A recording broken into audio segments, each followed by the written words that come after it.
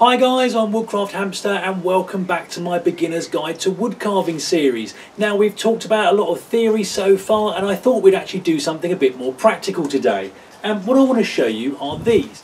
Now these are try-sticks, um, you may have heard of them before, and essentially it's just any old offcut of wood or stick or small branch that you can get hold of. And what you're doing is practicing certain cuts, um, really to try and improve your precision. That's, that's the whole purpose of these.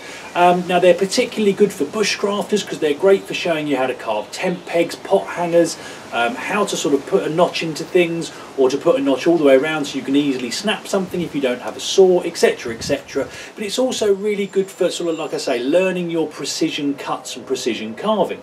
Um, now I've got another stick here, I was doing a bit of pruning in the garden, I thought these would be useful and it sort of just goes to demonstrate that although this is by no means perfect, there's a lot of little, little knobbles on there, I've had to cut off a lot of branches and thorns, um, you know, any old piece of wood will do. Now what I'm going to do, I'm going to move the camera just a little bit closer in and I'll show you what it is, uh, the sort of thing that I will do for these. Right then guys, well I've got a small selection of knives here, something similar to what I imagine most of you will be using. The Mora Companion, uh, the Mora basic uh, 120 off the top of my head uh, and the Mora Eldris just because they was the first ones that I grabbed. Now the first thing I want to do is put a point on the end of this. This is really useful for making things like tent pegs um, or if you're kind of constructing something in your camp and you want to sort of hammer something in with a bit of a point.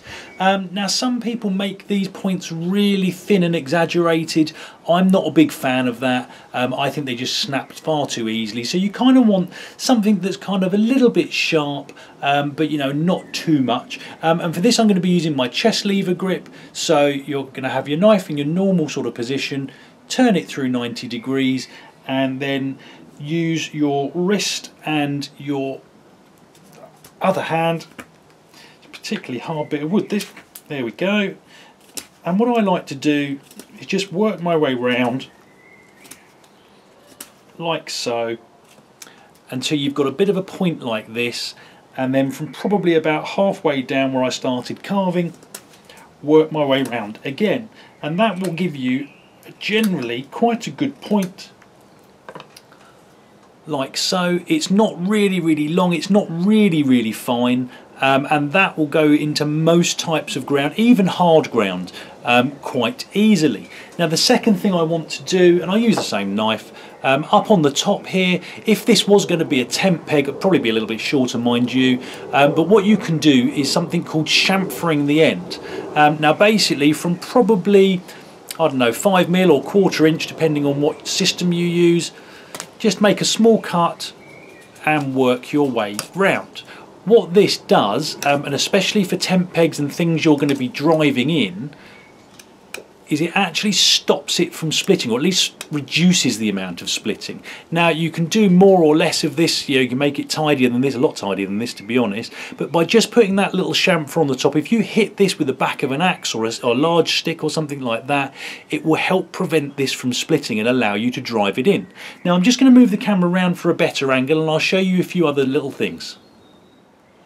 Now the next thing I want to show you is just a really simple V-notch. Um, this can be useful if you're trying to tie two sticks together or maybe you're making a frame for a table or a chair or something like that. And all you do is take your knife, put in a little bit of pressure, you can work it backwards and forwards a couple of times and then come back and work the other way. Now very very quickly there, I just work this out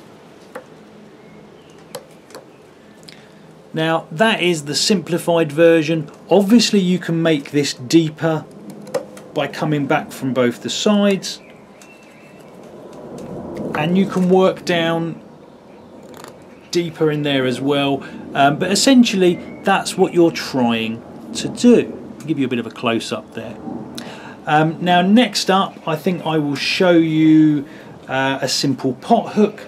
These are always quite useful if you're a bushcrafter and essentially what you'll do is you'll make a slightly angled cut. Hopefully you can see that all right. Um, there we go. Show you from that angle as well. So you, you've got your knife at a slight angle and again you push it down you work it backwards and forwards a few times. And then what you're going to do after that is come in from above it at an even steeper angle.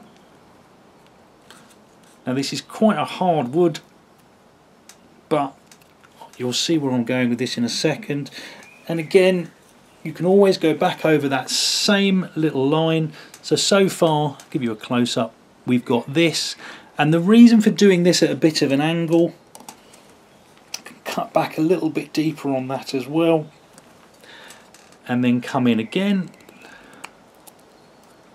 And hopefully what you'll see here is that you've now got a little undercut just here and that works really really well as a pot hanger.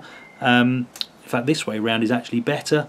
Um, but obviously you know if this was a shorter stick you can hang your bail arm on there. Now I'm using a really thin stick here and you can go even deeper if you want to. You know, I tend not to go more than about halfway through the stick I'm using, uh, but I think if you know if I was making a pot hanger, I'd probably use something a little bit thicker than this, not by much. Um, maybe sort of half over again but essentially you can see where that goes um, and if you want to use two sticks you can make two versions of this and you can link them together so this one would be this way around the other stick would be that way and they would just hook into each other um, now another variation of the pot hanger, and this is something I do quite regularly while I'm out and about. Let me find a suitable bit of stick. Uh, that'll do us. So let's have a let's use the Mora clipper for this. So what you want to do essentially, same as we did before almost, but you're coming in across a diagonal across the stick, like so, and then you're going to come back across the other way. So you're basically just cutting a across into this stick. Now you want to try and get it as deep as you can on the first pass. It's not a huge problem if you need to deepen it later, I just find it easier this way. Um, and then what you will do is just take out the bottom of that cross, just carve that out, and let me move some of this out of the way and then you want to carve out the two sides but it's very important that you leave the top sort of V shape in and I'll show you why in just a second. So again, if it doesn't quite line up, that's fine. Just go back over your lines, deepen them out a little bit. You can smooth that down a bit as well. And this is the thing, guys, this is what will sort of teach you that not every cut you make will give you the result that you want straight away.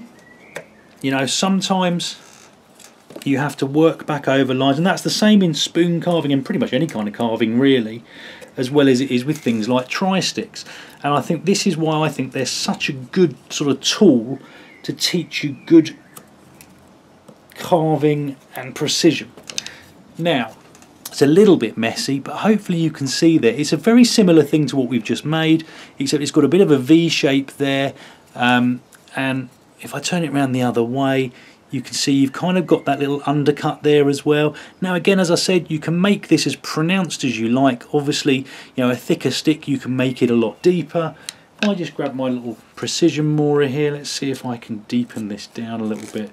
And that's the benefit of this is you can deepen this really really easily with this method. Now the last thing I want to show you is putting a ring all the way around this um, using a small V-notch. Um, and the main purpose for this for me um, is if you're out and about you don't have a saw. And obviously sticks like this are relatively um, easy to snap anyway but larger ones certainly aren't. Um, and what you will normally do you find a suitable section. This will probably do us. So you can come in at a, maybe a 45-ish degree angle and just push down swap over and do the same thing from the other side. And what you've done is you've cut out, where are we, just here, you've cut out a little notch. Now what you want to do is do that all the way round.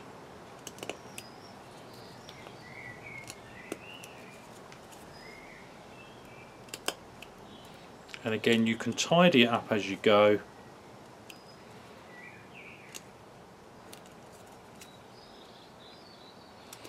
and whether you choose to do it the way I do which is kind of working one side and then the other to keep it sort of nice and tidy or if you want to work all the way around on one side first and then come back to it is entirely up to you but essentially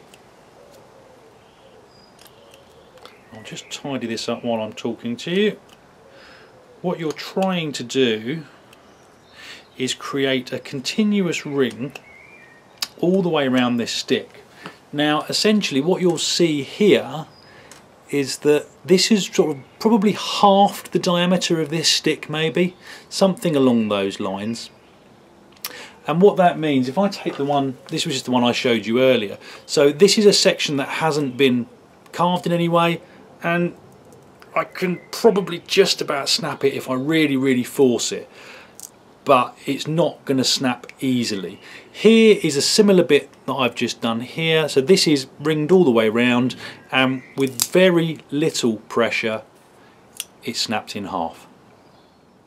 Right then guys, well I hope that was useful. I know it won't have been the most interesting thing for some of you, but I do think these try-sticks are really, really useful, um, both for bushcrafters, so you can learn how to sort of make things like tent pegs, chamfering off the ends, pot hangers, um, even just kind of thinning down so you can snap a branch if you don't have a saw. Um, and even things like the V-notch are really useful if you're sort of lashing things and you want somewhere for your cordage to bite into so it doesn't run up and down your stick. Um, and also, you know, for the new wood carvers as well, because it, it does give you a little bit of something to practice with, something simple and easy you can do in your own home, in your back garden, while you're out having a wander in the woodlands. You're doing a bit of carving, and I don't care what anybody says, any kind of carving that you're doing is really really useful not only to teach you how to do certain things but for the practice as well. I mean these I mean as I said earlier these um, I don't do very often now because I'm doing a lot of carving anyway. Um, but you know these are pretty untidy. And you know if I'd if I'd sat down for maybe a half hour I could have made these a lot nicer. Um, you know there would have been very few sort of ragged bits on there and stuff like that. And I could have made it, made it a really nice try-stick. Um, I mean I've seen people who make these um, you know who kind of almost sort of display worthy um, you know they're that good. Um, so again just something to think about guys. Hope it was useful. Comments and questions in the box below. Hit like and subscribe if you'd like to see more and I hope you'll all join me next time. Cheers guys